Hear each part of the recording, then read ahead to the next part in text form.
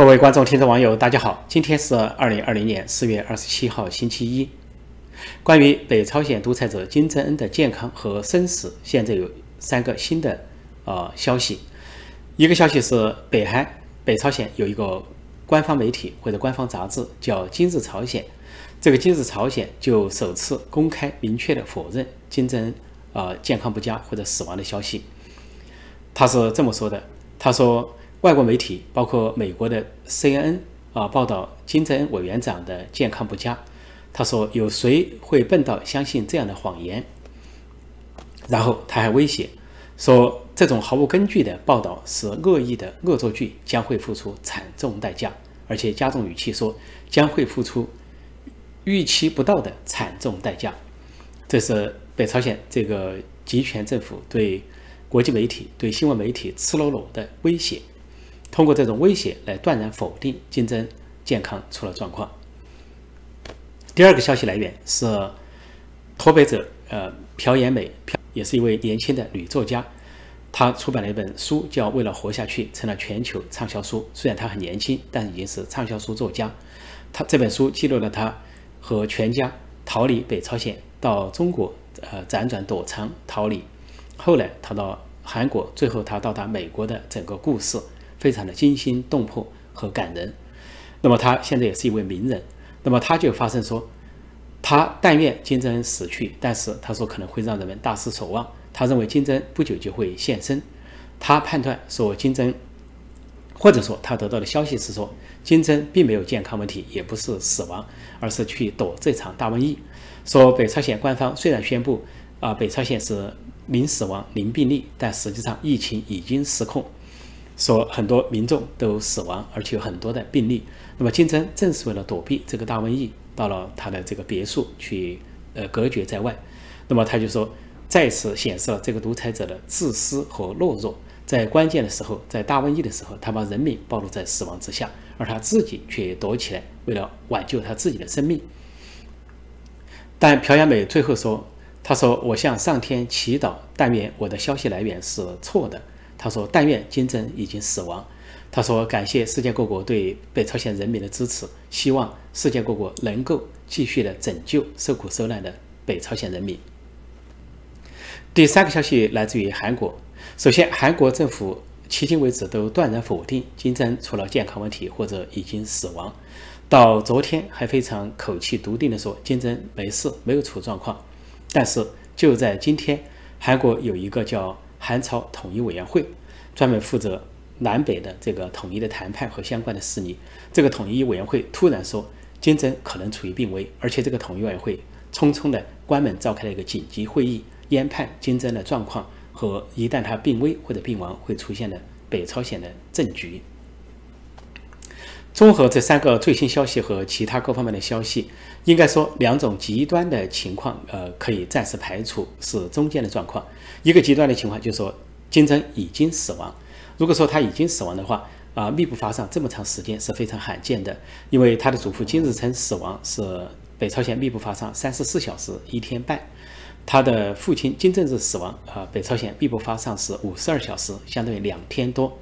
那么金正传传死亡传信这么久，如果密不发丧的话，那么非常不同寻常。除非是说为了接班人之争，啊，当权者有意啊，或者执掌者比如金宇正有意的隐瞒他的死讯，啊，以制造一个他还健在控制大权，让完成呃权力继承的布局之后才对外公布，这种可能性也有，但是密不发丧那就太长时间。再一个极端，就他完全没事。完全没事的可能性也没有，因为呃，作为北朝鲜这样一个集权政府、一党专政、世袭政权，领导人往往要显示他健康、大权在握，显示北朝鲜稳定。啊，如果他健在，或者是没有健康问题，或者没有死亡、意志清醒，至少以某种方式露面，哪怕像二零一四年消失四十多天之后，杵一根拐杖露面，他也要露面来破解外界的谣言。到现在为止，并没有露面，所以呢，说完全没事，完全没有健康问题，也没有动手术。啊，或者没有病重，这个可能性也比较小。那么就说中间的状况比较大，那就是病重或者病危。所以停在元山啊那个专列，那么就起到三个作用：说他如果在元山领袖度假村度假，呃，那么这个专列有可能说接他回平壤，也就是说他可能动了手术，在康复中可以接回平壤，这是他们那边呃可能比较乐观的一个结果。但是另一方面也可以是去运载尸体，因为他的父亲金正日就被北朝鲜报道说死在列车上专列上，说是工作过度劳累，在专列上突发心脏病啊抢救不及而死亡。那么这回这个专列有可能运载他的遗体返回平壤。那么第三种可能性就是我昨天所说的障眼法，故意把这个专列停在那里，以显示他只是在那里度假啊，是呃是一切太平啊，没有什么事情，以这个阻挠这个或者化解外界的议论纷纷。但这个障眼法也就是个掩护，反而是欲盖弥彰。但是病重和病危仍然是各种报道和推测中最大可能性的那种。有趣的倒是朴妍美的呃说法中谈到了大瘟疫，谈到了这一场大瘟疫对金正恩的影响，说他在乡下躲瘟疫，不顾人民的死活。而《纽约时报》在提到众多可能性中，也列举了这个中招的可能，就是对中国瘟疫中招的可能。这也是呃这个事情一开始我提到的一件事情，就是金正有世袭的权利，有世袭的心脏病。那么如果遭遇大瘟疫的话，很容易倒下，说这个可能性不能排除。在北京，自从四月十九号公安部副部长孙立军落马之后，发生了很多的人事变化，呃，各部委可以说是眼花缭乱。那么一些明确的人事变化就是司法部长啊傅政华的消失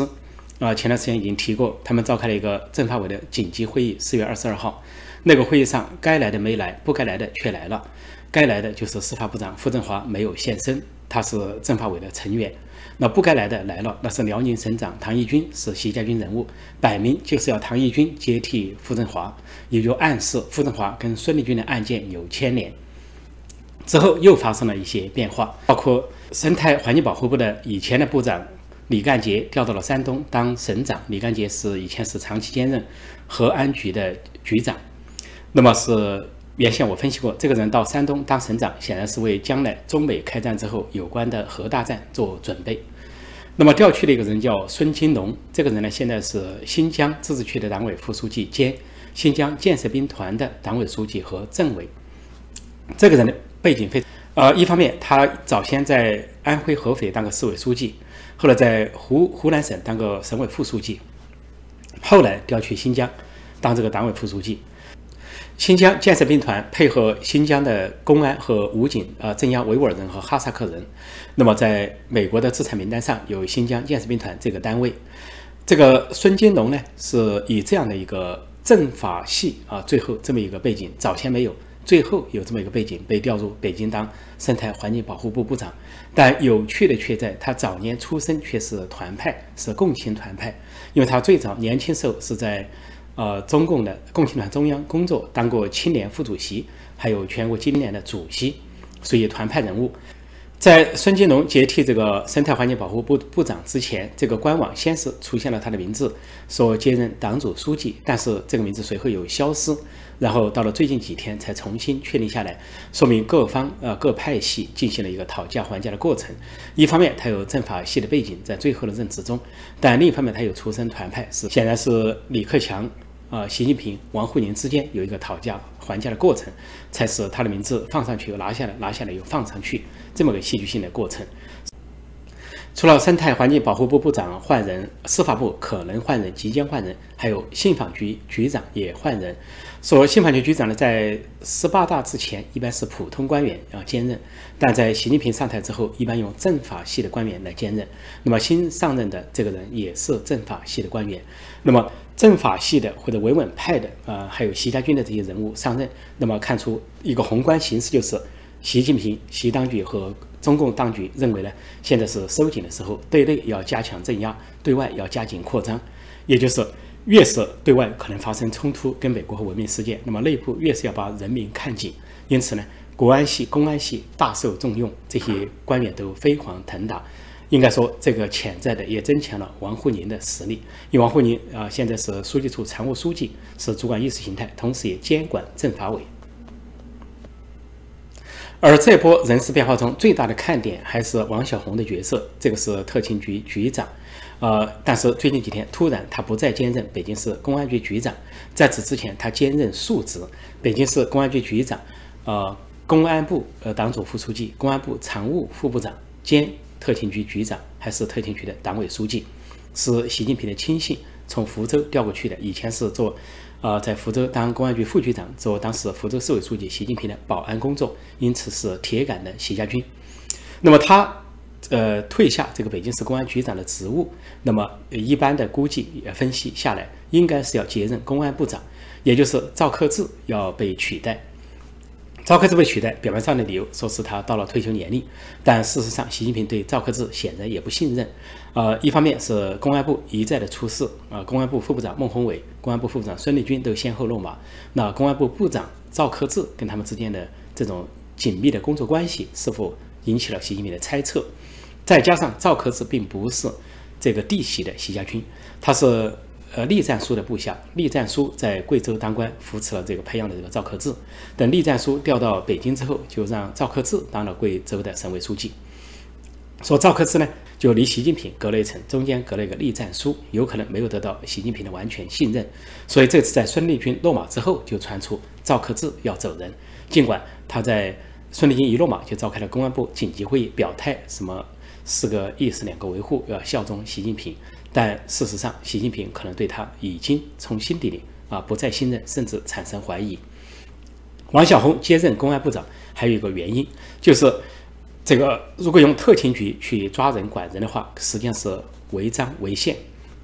即便是中共是个党天下，不按照国际标准，即便按照中共本身这一套啊标准，已经背离国际标准的党天下的标准。设特勤局，并且要王小红监视党和国家领导人，这个做法违反了党章，违反了宪法。因为“监督”这个字只能由中纪委、国家监察委来说。如果中纪委说监督呃一把手，那成立，因为中纪委要管党员和呃党务官员。如果说国家监察委来说监督一把手也成立，因为这个国家监察委他要负责监监督啊公务员和这个政务系统，就是政府系统的官员。所以现在由特勤局出面来说，就是在四月啊二十一号这个紧急会议上，特勤局的这个局长王小红居然说出这么一句话，他说要加强对一把手的监督，监督他们的呃决策权、用人权、财务审批权，要让他们习惯在监督的状态下工作和生活，就不仅是工作被监督，连生活都被监督，也许连上厕所都被监督。这种监督就是监视和监控的意思。成立特勤局本来就是一个多余的部门，是习近平自呃自己成立的一个部门。去年五月份，后来又任命他的亲信来出任。开始说管这个四副两高的领导人的保卫工作，就是副主席、副总理、呃人大副委员长政协副主席。最后管得越来越宽，说是除了七常委政治老人，呃他呃七常委政治老人呢，保安工作由中央警卫局啊执行，有个习家军的习近平的亲信王少军。啊，做中央警卫局局长。那么说，除七常委政治党人之外的党和国家领导人警卫工作由特勤局来执行，说是安全保卫工作，但更多的是监视和监控的工作。而王小红在孙立军落马之后，干脆就把话说明了，要把所有的一把手监督起来。但是习近平作为总书记。呃，国家主席、军委主席，那是一把手中的一把手，是不是要被监控呢？但是王小红显然不是这个意思，他说的是，除习近平之外的党和国家的领导人一把手都要被监督，比如说国务院总理、人大委员长、政协主席、各部的部长、党组书记、各省的省委书记、省长等等。这个监督，它笼统而言，实际上并不是反腐，因为特勤局没有反腐的功能，就是要监视他们。按照毛泽东时代，毛泽东的话说。就是要他们规规矩矩，不准他们乱说乱动。所以我说过，这个特勤局就相当于斯大林时代的内务部，而这个王小红相当于当时的贝利亚，呃，是中共内部最大的特务头子。而回到明朝，就相当于啊当时的东厂，因为明朝是特务政治最盛行的黑暗年代。开始朱元璋开国之后，建立了锦衣卫，锦衣卫是相当于呃中央警卫局卫戍卫戍部队，是负责这个京师。京城一带的安稳，为巩固这个呃朱元璋的这个明朝政权。但是到了他的这个朱棣继位，朱棣是推翻了朱元璋的孙子啊，这个建文帝啊篡篡权，成了这个所谓啊明成祖。而这个朱棣呢，觉得不安全，发现锦衣卫只能是监督民间臣民，他需要监督其他官员。他发现，呃，很多官员还怀念建文帝，而还有传说说建文帝并没有死，可能在哪里啊？这个山上，呃，可能隐蔽做和尚等等。这样的话，朱棣就成立了东厂。东厂就是一个特务机构，专门来监视官员和大臣。那么在后来的皇帝还嫌不够，又建立了西厂。但西厂呃命运不长，有的时候五个月，有的时候五年，说权力比东厂还要大，监视的官员的范围更多。最后又成立了个内行厂，而内行厂居然就是把锦衣卫、东厂、西厂都看起来，就说一层看一层，呃，最后都瞄准的是大臣。说这个东厂当时权力很大，都是由宦官来主事，由太监主事。啊，说朱棣呢是信任太监，那么他们权力大到什么地步呢？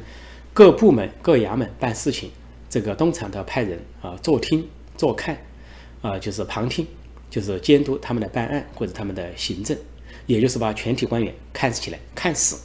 今天习近平的做法就是这样，仍然是老办法。所以说，习近平新时代啊，绝对是一个旧时代，因为他找的办法，以为自己很了不起，找了半天，不过就是明朝的啊这个特务系统呃东厂这个办法。找了半天，就斯大林时代的内务部，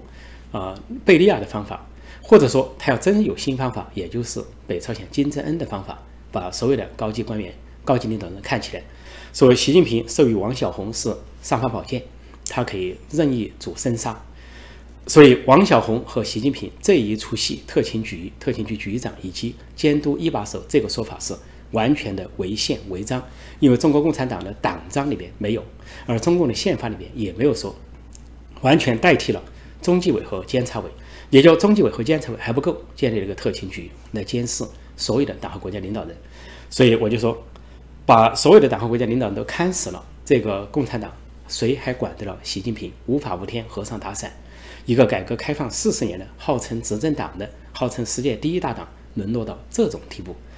黑社会的帮规恐怕都还要比他强一点。这成了习近平个人的家规家法。所以独断专行到这个地步，党内可能表面上鸦雀无言，敢怒而不敢言，但是要反起来，那也是非常的，可以说异常的凶猛。就说明朝，虽然明朝皇帝设了所谓锦衣卫、东厂、西厂、内行厂，但是有两个事情，一个事情就是所有这些呃锦衣卫、东厂、西厂、内行厂的头领，最后都死于非命，都惨死，要么是内部的权力斗争中啊被杀死。就说那个最大的宦官，到我的重臣年代，这个魏忠贤是当过东厂的头领，后来是把持朝纲，但是在崇祯皇帝上任不久，要跟他算账，说在崇祯皇帝的威逼之下，这个畏罪自杀。自杀之后，崇祯皇帝还余怒未消，要把他的尸体拿出来鞭尸凌刺。其他的这些头目就不用一一说了，都死得很惨。崇祯皇帝朱由检之所以非要拿下魏忠贤，非要法办魏忠贤不可，那是因为他目睹前朝，觉得魏忠贤权势太大，而且爪牙众多，迟早会对皇权不利。所以崇祯皇帝要巩固他的权位，首先想到的就是要拿下魏忠贤，这个是曾经是东厂最大的头目。所以回头来看今天的这个。习近平重用公安、国安，可以说是一把双刃剑。重用公安、国安固然显示国内很紧张，要随时镇压人民；国外也很紧张，随时要跟文明世界开战。因此，用公安、国安、特勤局、警卫局这套系统来控制人民、控制官员，甚至控制其他的党和国家领导人，控制反西势力，监控这个政治老人和其他政治派别。但是，这个双刃剑的剑的意义就在于，既然你重用国安、公安，而国安、公安掌握的是刀把子、专政功绩。他倒过来也可以妨害，所以我可以看到，过去国安公安的人不断的落马，都是对最高领导人不利，包括以前的政法王、维稳王啊，政这个政法委书记、政治局常委周永康就参与了政变，对胡锦涛不利，也对习近平不利。再后来就看到，呃，国安部副部长马建落马，也参与了某种政变，跟周周永康有联系或者未遂政变。再下来就看到公安部一个接一个的出事，先是孟宏伟。一即便已经当了国际刑警组织主席，仍然有这个政变或者未遂政变的这种行迹，或者要披露、呃泄密的这种重大的事情发生，所以以至于习近平不得不紧急行动。再后来是孙立军，孙立军这两种可能都有，一种是涉入政变或者未遂政变，再一个就是泄密，重大的泄密，极有可能把涉及这场疫情的关键的数据资料、十年时的秘密啊，传递给了澳大利亚、美国五眼联盟或者是国际国际社会。这样的情况下可以看到，国安部、公安部都不断的出事。习近平重用国安、公安，重用政法系统啊，重用王沪宁这个肚子上的人。反过来，有可能政法委、国安、公安这些利剑都倒过来指向习近平，因为在这个过程之中，他们都会结仇，尤其是像特勤局局长王小红、习近平亲信这种角色，会跟各方结仇。结仇之后，受到各方痛恨，有可能王小红会这个被人拿下，或者是呃像过去东厂那些头目一样死于非命。那王小红一旦被人了断的话，那接下来要被了断的可能就是习近平本人，当然也包括当。今的政法王王沪宁，特务政治的凶险就在这里，一把双刃剑，可能害人，也可能害己，可能伤人，也可能伤己。看上去，习近平极度迷信特务政治，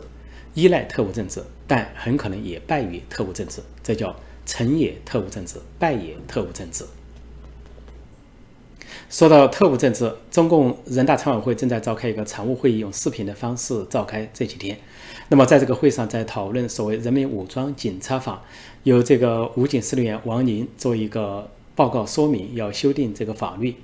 呃，这个王宁呢，也是习近平的亲信，是他带习近平掌管这个武警。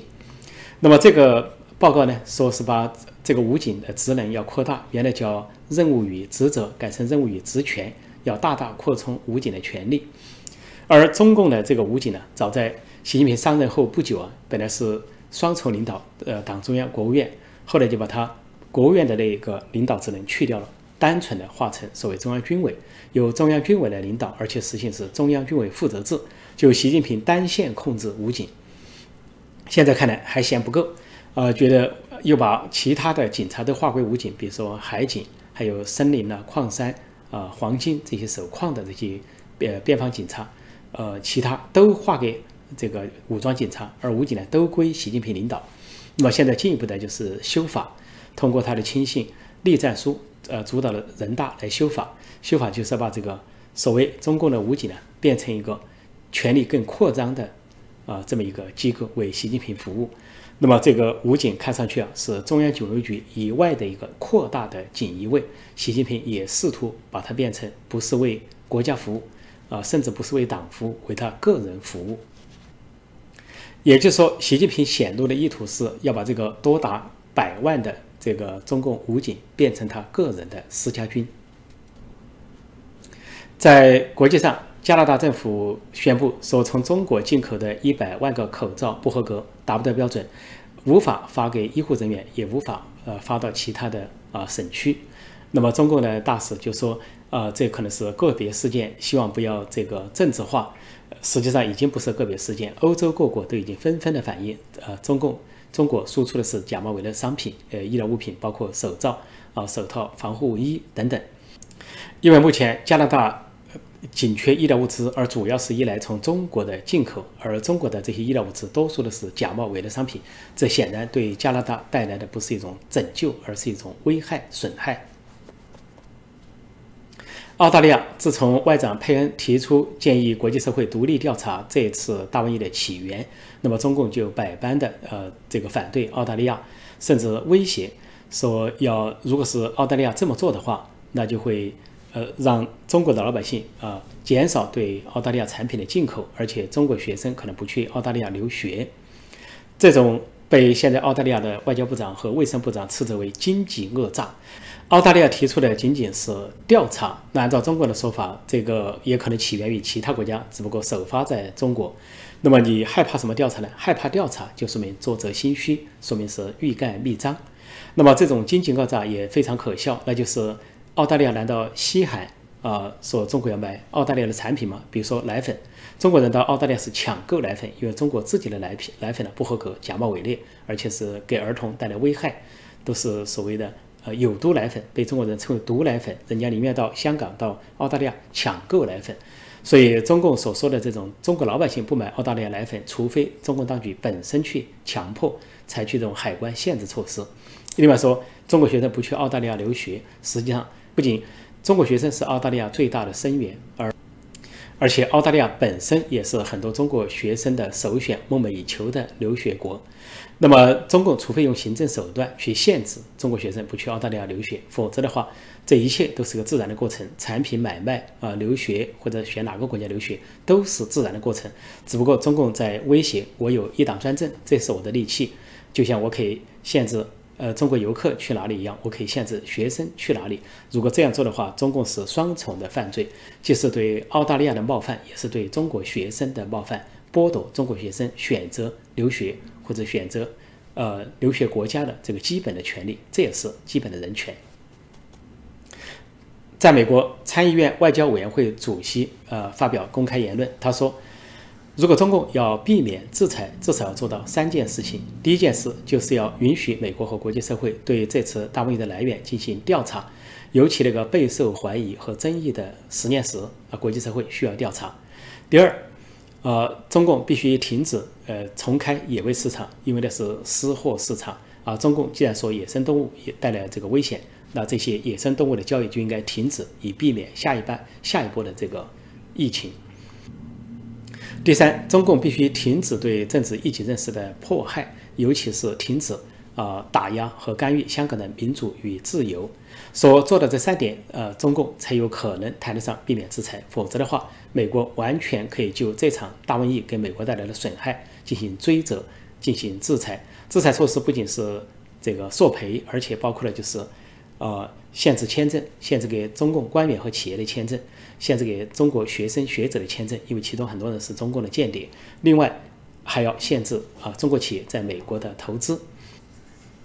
这位参议院外交委员会主席也提出，就像以前其他几位议员所提出的那样，就说美国应该免除对呃中国的这个债务，呃，因为中国是仅次于日本持有美国国债的国家，第二大国家，持有上万亿的美国国债。